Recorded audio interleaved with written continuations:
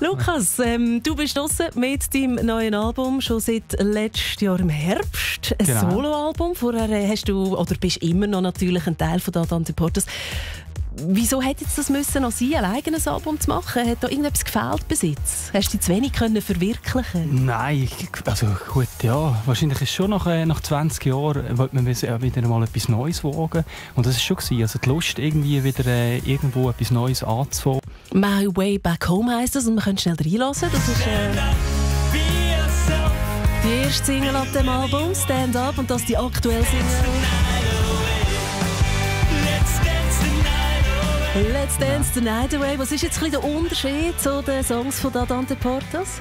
Ja, also es ist wahrscheinlich ein bisschen, ein bisschen poppiger als Dada im, äh, im Gesamtbild. Und ich habe alle Songs mit akustischer Gitarre geschrieben. Das ist bei Dada nicht immer so, oder? Wo man oft auch schon mit, mit der elektrischen von Anfang an arbeitet und dann eigentlich rund um die akustische Gitarre die Songs aufbaut. Und dann ist sicher äh, der Unterschied, ist, dass ich sie singe und nicht der Pi, oder?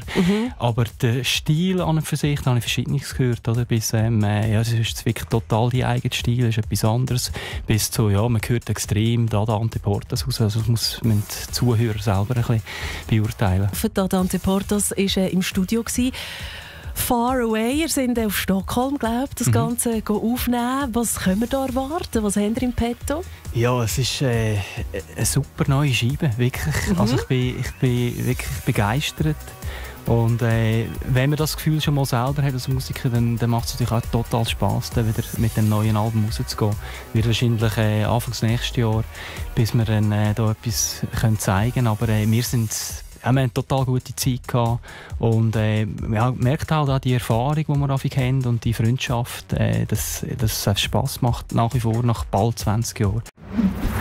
Radio